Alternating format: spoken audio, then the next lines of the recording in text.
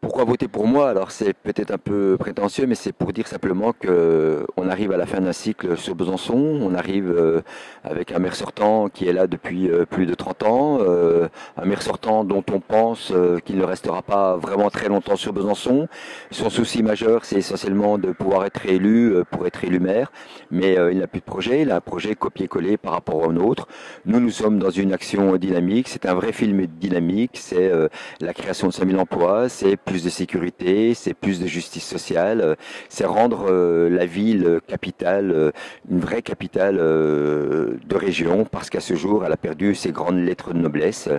Je suis entouré d'une équipe de compétences, je suis entouré d'hommes et de femmes qui aiment leur ville, qui ont des vrais projets pour, pour notre ville. Et c'est un, pas simplement un enjeu, c'est un tournant décisif. Je ne souhaite pas l'alternance pour l'alternance, je souhaite l'alternance parce que nous avons un projet fort, construit, sincère et financier. Alors, pourquoi voter pour moi? Voilà une, bonne question. Tout d'abord, j'ai la passion de cette ville, j'ai la passion de Besançon. J'y suis né, j'y ai grandi, j'y ai étudié, j'y ai travaillé, j'y habite, et je n'irai jamais habiter ailleurs qu'à Besançon. C'est la première chose.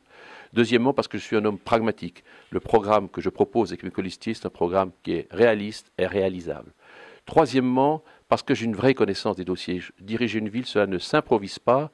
Il faut connaître les dossiers. Donc j'ai cette connaissance et je suis entouré d'hommes et de femmes qui ont d'une part cette connaissance et des regards nouveaux qui apporteront de la jeunesse et, de, la, fraîcheur. Il faut aussi avoir l'expérience pour gérer les situations difficiles. Il ne faut pas s'énerver, il faut rester calme. La vie n'est pas simple tous les jours. Il faut que le maire soit là, à la barre, et qu'il tienne fermement la barre.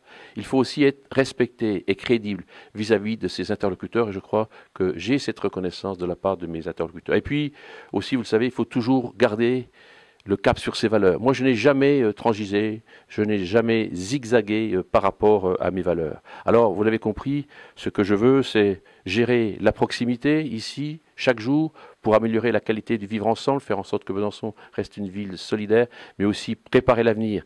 Par exemple, faire en sorte que Besançon, soit une ville championne du développement durable. Elle l'est actuellement, nous sommes troisième dans ce classement euh, de l'Express. Nous sommes la première ville de France à avoir reçu le label Gold Énergie. Nous voulons réussir la transition énergétique ici à Besançon. Et puis aussi, puisque je m'adresse à votre média, je vais vous dire que je suis comme vous toutes et vous tous qui nous regardez, je suis passionné de nouvelles technologies, c'était même mon métier. Il faut que Besançon, qui est déjà un début de Smart City, reste une ville qui soit connectée, une ville qui soit accessible, une ville intelligente, une ville futée, une ville de demain en un mot. Pourquoi voter pour moi?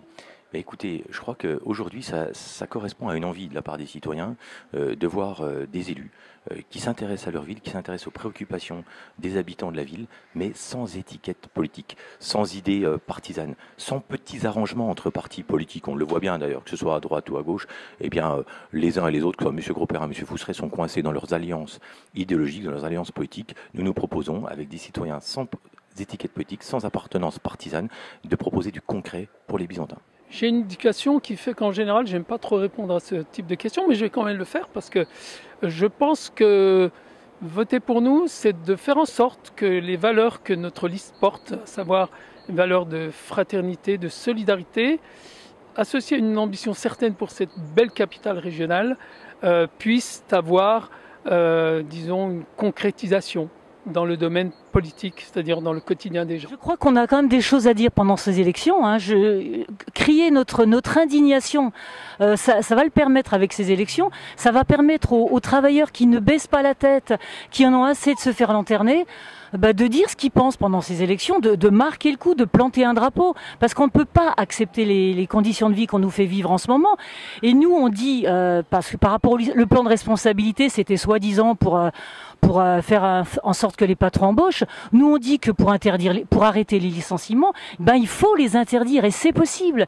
Il faudra imposer de partager le travail entre tous sans diminution de salaire.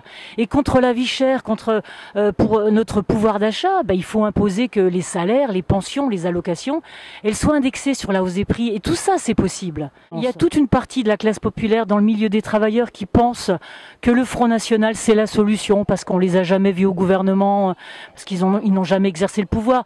Mais nous, ce qu'on dit, c'est que, c'est que le vote du Front National, c'est, pour les travailleurs, c'est vraiment se tirer une balle dans le pied.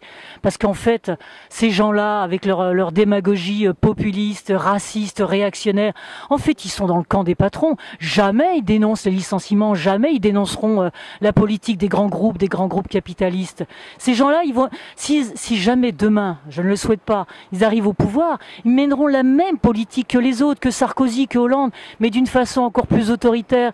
Ils s'en prendront aux travailleurs, immigrés, et après ils s'en prendront aux travailleurs euh, euh, lambda, de tous ceux qui travaillent dans les, dans les services publics, dans les entreprises. Donc vraiment, moi je le dis, voter pour le Front National, c'est se tirer une balle dans le pied. Euh, parce que je suis un homme d'expérience et sur l'engagement au regard de la fiscalité, au regard de l'emprunt, j'ai déjà démontré au Conseil régional que ce n'est pas un engagement uniquement de campagne électorale, c'est une manière d'agir et de travailler euh, pour la ville capitale, euh, je suis crédible parce que j'ai déjà exercé des responsabilités. Euh, ça n'est pas le cas de tous les candidats.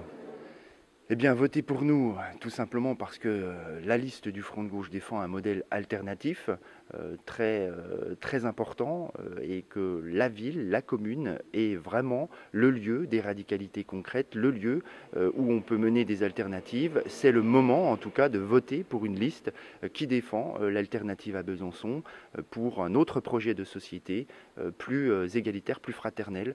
Voilà ce que nous défendons avec la liste à gauche toute, place au peuple. Votez donc pour Emmanuel Giraud qui défend cette liste. Alors notre différence c'est qu'on se situe vraiment sur des combats euh, locaux, euh, la réforme Payon, le parking de l'hôpital, c'est vraiment des choses qu'on combat depuis euh, un certain temps. Donc c'est pas une liste qui tombe comme ça parce qu'on avait envie de faire une liste pour gagner des places.